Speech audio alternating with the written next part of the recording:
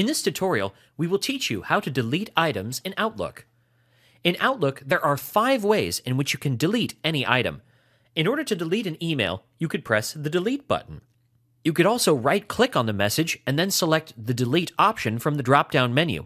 Another method you could use is to open the message and then click on the delete button. Furthermore, you can use the delete key from your keyboard to perform the same function.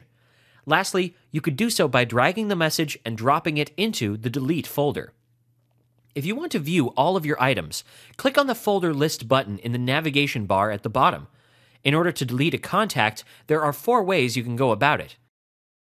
You could click on the contact and delete it, hit the delete button available on the ribbon, press the delete key on your keyboard, or drag it into the delete items folder. You can also choose to delete folders from your inbox. This could be done by using the delete icon or by right clicking and deleting the folder. When you are deleting the folder, you will see a prompt which would say that the deleted item has been moved to the deleted items folder. Similarly, you can delete calendars as well.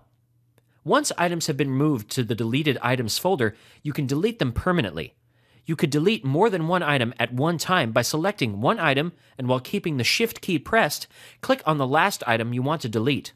Now click on the delete icon from the ribbon and click on the Yes button when prompted in order to delete the selected items. After deleting these items from the deleted items folder, you might want to get rid of the folder and the calendar.